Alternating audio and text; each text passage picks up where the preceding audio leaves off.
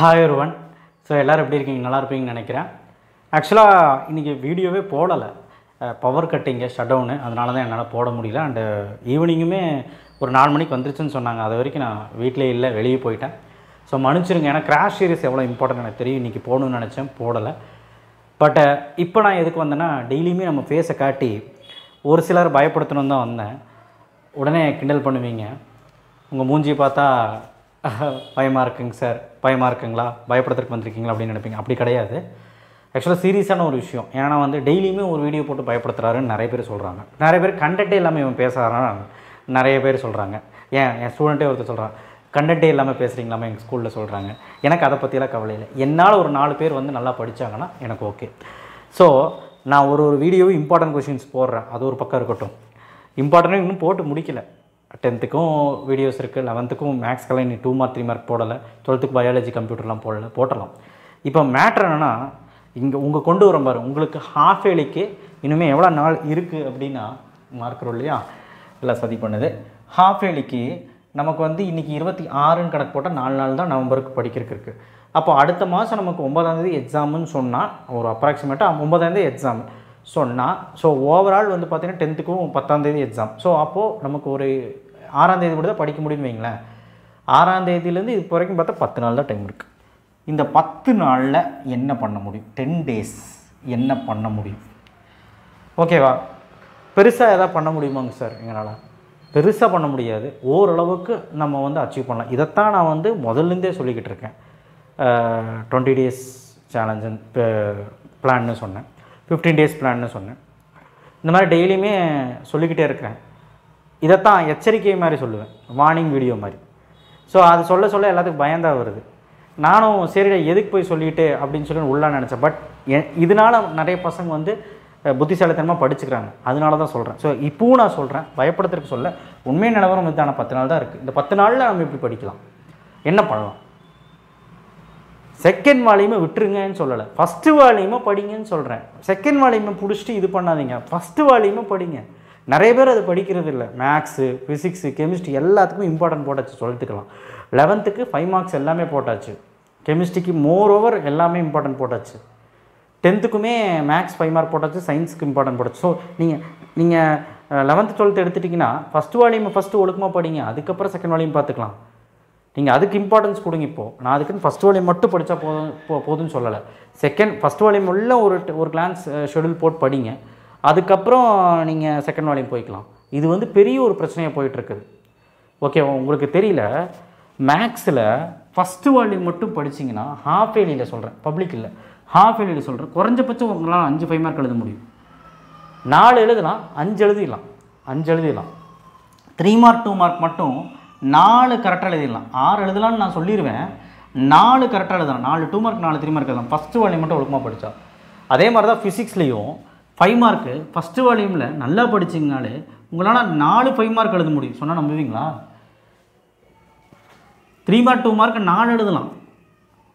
So first வால்யூமை ஒழுக்க தரவாக படிச்சுட்டு அண்ட் செகண்ட் வால்யூமை கம்மி பண்ணி படிச்சுக்கோங்க. கம்மினா ரொம்ப ரொம்ப மை ரொம்ப இம்பார்ட்டன்ட் படித்தாலும் போதும். கெமிஸ்ட்ரி அப்படி தான் ஃபஸ்ட்டு பத்து லெசன் சந்தோஷம். தேர்டு ஃபோர்த்தில் இம்பார்ட்டன்ட் படி. பெரிய லெசன் லெவன் டுவெல் தேர்ட்டினில் நேமிங் ரியாக்ஷன் முடிஞ்சளவு ட்ரை பண்ணு. ஃபோர்டீன் ஃபிஃப்டீன் படி ஒழுக்குமா. போதும். ஸோ நிறைய ஸ்கூல்ஸில் சொன்னாங்க. நிறைய டெஸ்ட்டு வைக்கிறாங்க. நிறைய சைக்கிள் டெஸ்ட் வைக்கிறாங்க. இதெல்லாமே உங்களுக்கு வந்து டார்ச்சராக இருக்குது டார்ச்சருங்கிறத விட ஹாஃப் இயர்லிக்கு எங்களுக்கு வந்து ப்ரிப்பேர் பண்ண முடியாமல் போகுது. அவங்க நல்லது பண்ணணும்னு வைக்கிறாங்க. ஆனால் அந்த ஸ்ட்ராட்டஜி நமக்கு ஒத்து போகல. அதுதான் வந்து நம்ம புலம்புறோம். ஸோ அதனால் இந்த டெஸ்ட்டுக்கு ஃபாலோ பண்ணுங்கள் இல்லை டெஸ்ட்டில் நல்லா பண்ணிங்கனாலும் பரவாயில்ல. நீங்கள் அந்த கரெக்டாக ஹாஃப் ஏலி ஷெடியூலுக்கு கரெக்டாக படிங்க. ஈவினிங் நான் சொன்ன மாதிரி ரெண்டரை மணி நேரம் படிக்கிறீங்களா? அதே மாதிரி காலையில் ரெண்டு மணி நேரம் படிக்கிறீங்களா? இதெல்லாம் பண்ணிங்கன்னா ஓகே ஓகேவா அதே மாதிரி தான் டென்த்து ஸ்டாண்டர்டுக்கும் சொல்கிறேன் மேக்ஸ்னு எடுத்துக்கிட்டிங்கன்னா உன்னால் முடிஞ்ச அளவுக்கு ஃபஸ்ட்டு சாப்டர் நல்லா படி செகண்ட் சாப்டர் நல்லா படி. ஒரு ஜாமெட்டிகிராஃப் போட தெரியுதா? ஒரு தீரம் எழுத தெரியுதா? எயித்து சாப்டர் நல்லா படி ப்ராபபிலிட்டி இதெல்லாம் ஃபஸ்ட்டு முடி மேட்ரிக்ஸ் நல்லா முடி. அதுக்கப்புறம் நல்லா நல்ல சாப்டர்லாம் வரலாம். மென்சுரேஷன் இப்போ தான் முடிஞ்சுது. மிட்டமுக்கு நல்லா படிக்கலாம். ஸோ அந்த மாதிரி வாங்க. ஒரு அஞ்சு சாப்டராவது படிங்க. தமிழ் இங்கிலீஷெல்லாம் வந்து பார்த்தீங்கன்னா ஒரு அஞ்சு நாலு ஏழாவது படிங்க. அதே மாதிரி சயின்ஸு சோஷியல் எடுத்துக்கிட்டிங்க அப்படின்னா சயின்ஸில் பயப்பட வேண்டாம். ஃபிசிக்ஸ் கெமிஸ்ட்ரி மட்டும் முடிக்க ட்ரை பண்ணுங்க இப்போதைக்கு. அதே மாதிரி சோஷியலில் ஹிஸ்ட்ரியில் ஃபைவ் மார்க்ஸ் கான்சென்ட்ரேட் பண்ணு. ஜாகிரபிலையும் ஃபைவ் மார்க்ஸ் கான்சென்ட்ரேட் பண்ணு. ரொம்ப போட்டு குழப்பிக்காத. சிவிக்ஸ் எக்கனாமிக்ஸ் வச்சு. நான் இம்பார்ட்டன்ட் போடுறேன் அப்போ உங்களுக்கு ஒரு ஐடியா கிடைக்கும். ஸோ அதனால் ரொம்பவே பயத்தில் இருக்கீங்க நிறைய பேர். அது இன்னொரு தரப்பினர் வந்து எதை பற்றியும் கவலை இல்லை. இன்னொரு தரப்பினர் வந்து ரொம்பவே பயமாக இருக்கு பயத்தில் இருக்கீங்க. ஸோ மொத்தத்தில் நான் சொன்னதில் இப்போ என்னை பற்றி ஃபஸ்ட்டு நான் சொன்னேன். அதை நான் முடிச்சுக்கிறேன். என்னை பற்றி ஃபஸ்ட்டு சொன்னேன். அதுக்கப்புறம் தான் உங்ககிட்ட வந்தேன். என்னை பற்றி என்ன சொல்ல வந்தேன்னா கண்டென்ட்டே இல்லை. ஏதோ ஒன்று போடுறான். கண்டென்ட் இல்லாமல் வீடியோ அதில் வேறு ஒருத்தர் கேட்டார். கண்டென்ட்டே இருக்காது. ஏங்க சார் உங்களுக்கு போட்டதே திரும்பி திரும்பி போடுவீங்க. அப்படியா? எனக்கு தெரியல. நான் என்னால் ஒரு பத்து பேர் நல்லா படிக்கிறான்னா எனக்கு அது சந்தோஷம். அதுக்கு தான் நான் டெய்லி இன்றைக்கி கூட இப்போ வீடியோ போட போட நிலமையில் இல்லை நான். டைம் ஆயிடுச்சு எதுக்கு எப்படி வீடியோ போடுறது? ஸ்கூல் விட்டு பசங்க இப்போ தான் நிம்மதியாக இருந்திருப்பாங்க. அது எதுக்கு நம்ம வீடியோ போட்டு டார்ச்சர் பண்ணணும்னு நினச்சேன் ஸோ நான் நாளைக்கு போட்டுக்கலாம்னு நினச்சாங்கன்னா ஆனால் சரி இருந்தாலும் நம்ம நம்ம நம்ம ஃபேஸை காமிச்சிடலாம். நம்ம ஆறுதலாக இருக்கலாம். ஹாஃப் ஏலிக்கு என்ன பண்ணணும்? ஒரு ஒரு ஒரு பூஸ்டப் கொடுக்கலாம். டெய்லியுமே நம்ம வான் பண்ணுறோம் அந்த மாதிரி வான் பண்ணுவோம். டேய் தம்பி இன்னும் டைம் இல்லைடா அப்படின்னு. அதுதான் ஃபஸ்ட்டு நான் சொல்ல வந்தேன். அதுதான் மீனிங் வேறு ஒன்றும் கிடையாது.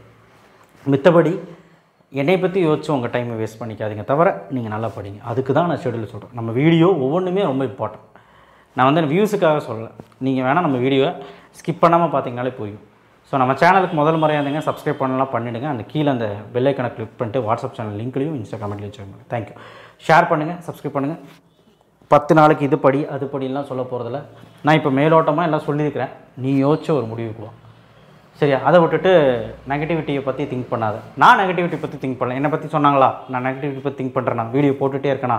எனக்கு எனக்கு கவலை இல்லை. நீ நெகட்டிவிட்டி பற்றி திங்க் பண்ணாத. உன்னோடைய நெகட்டிவிட்டிலாம் க்ளோஸ் பண்ணிவிட்டு ஒழுக்கமாக படிக்கிற வழிப்பார் பக்கத்தில் இருக்கவங்க கூட விளையாண்டுருந்த இல்லை வந்து வீட்டில் வந்து டைம் ஸ்பெண்ட் பண்ணுறேன் அப்படின்னா உனக்கு எதுவுமே ஆகாது. மூவ் ஆன் பண்ணுங்க. நான் இப்போ தான் ஸ்க்ராட்ச்லேருந்து ஸ்டார்ட் பண்ணுறோம் மூவ் ஆன் பண்ணுங்க. அவ்வளோதான் கிராஷ் சீரிஸ் நாளைக்கு வரும். தேங்க்யூ